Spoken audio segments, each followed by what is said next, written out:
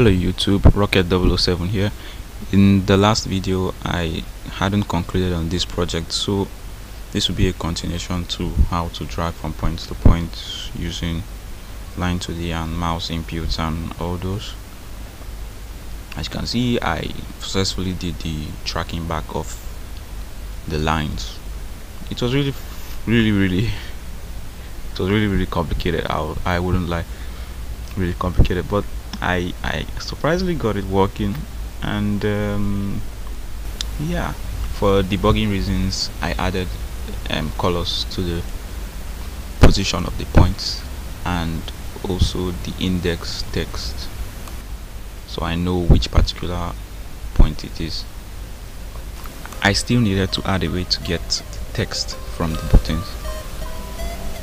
So I slapped in a label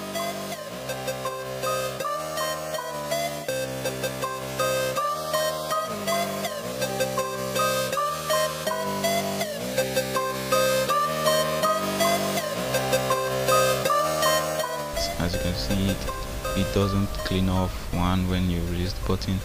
And all of them are just adding up even though we only have four buttons. So I fixed that as well. Actually as you can see here. Is there's to retrieve the data this is just an array called word dragged which uh, if you keep an eye on it you will notice it's anytime you select a button it will put it into the array. Then when you deselect it it you know removes it accordingly. And when you uh, release the button the mouse button everything gets cleared. And yeah that's just that's just the way of that this whole thing. You can just retrieve your data from over there the word dragged array. Next thing I wanted to add were the labels on the texture button. Because right now you can't really see which button you select and like I said this is this actually texture buttons images image buttons. And there's no I don't think there's a way of setting a, a text on it I think. So I had to do that myself manually and it was really crazy because I didn't fully understand transformations. I didn't understand that there's global transformations so global positions and the um, normal positions which is relative to their parents and because of that uh, I, I, it took me a long time like it took me hours hours to try and get right. I had to Google a lot of stuff just to get this working, but I was able to get it. One thing again I'm happy about this is the way it's kind of standalone and easy to you know create more buttons like check it if I wanted to add more buttons I just do is duplicate say example this one make it a parent sorry make it a child of the parent. Okay after position it properly. In this part you can see it works seamlessly.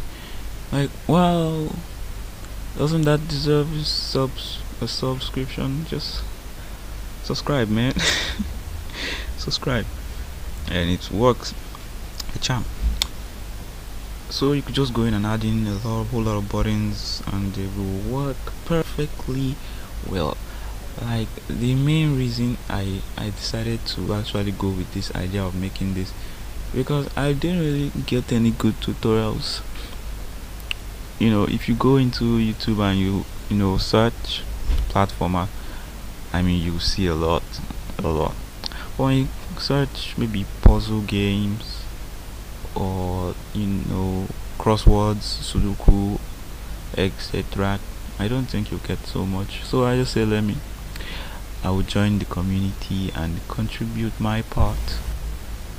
I like to point out that this is i know uh, it kind of looks like a tutorial. It's not really a tutorial because i don't really have much exp i don't really have i don't really know much enough to say I will give out a good tutorial. Besides I don't really think I'm cut out for that yet. So I will just call this a dev log tutorial where I just show what I did probably how a few steps on how I arrived at it. Then I just give out the source code. And um, yeah the code is available on github my github repository. It's heavily commented though i think there are a few typos or actually a lot of typos. But i'm sure it's pretty much self-explanatory and it will help.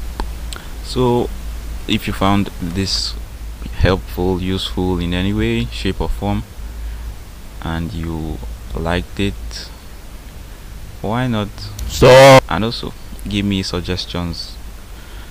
Tell me what you think bye